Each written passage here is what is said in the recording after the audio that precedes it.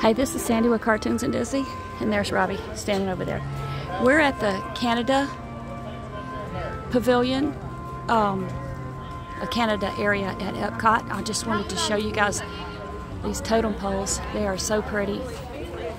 And I'll show you each one as we go around.